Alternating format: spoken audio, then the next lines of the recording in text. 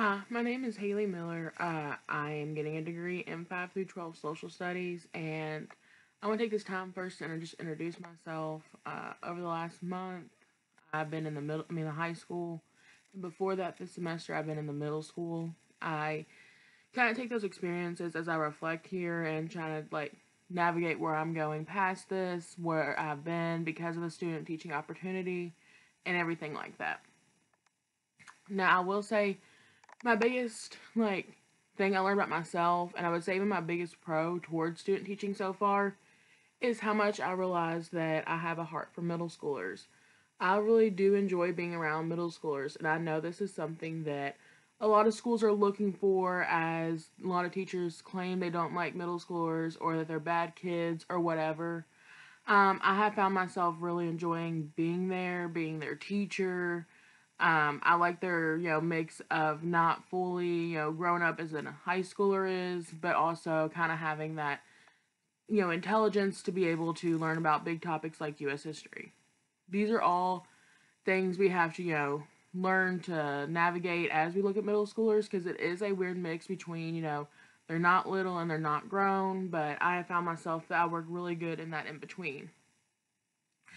Now, um, some things I've also looked at that I know I need to work on as I look at student teaching are, you know, time management in the classroom, just making sure you really kind of nail it, how it's each lesson needs to be down to the minute, you know, be flexible, you know, you can have, you know, this took a little bit longer than you expected, you can pick it up tomorrow with finishing it.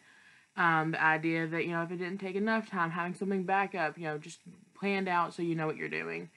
Um, those are some things I'm working on right now in the high school and just kind of look, working on as I, you know, grow as a teacher.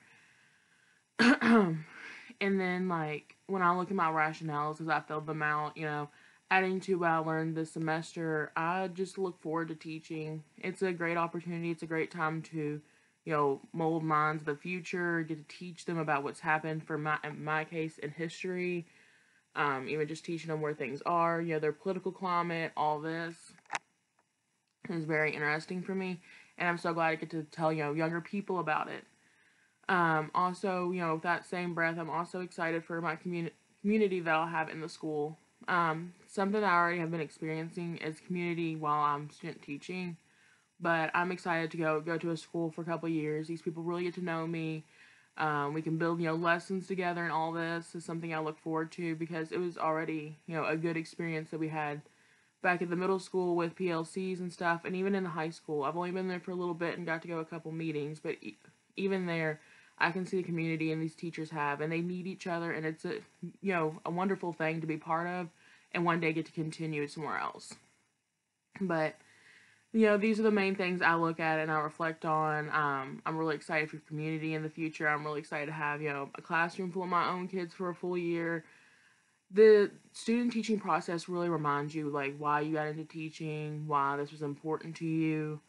Um, the connections you have with these students, even over a short period of time, is amazing. So, you know, the idea that next year you'll have your own set of kids you'll have for a full year is really exciting and something that I look forward to still as well and all this, you know, I'm just really excited for the connections to I'm gonna make next year, and um, reflecting over my four years at CU, even the connections I've made in Campbellsville, um, in the classrooms, the connections I've even made through student teaching. All these teachers I know will be here to help me in the future if I needed it, if I needed to um, call them up for any reasons, anything like that. I know they would be here for me, and that's a great sense of community, and I'm very thankful for. And um, yeah,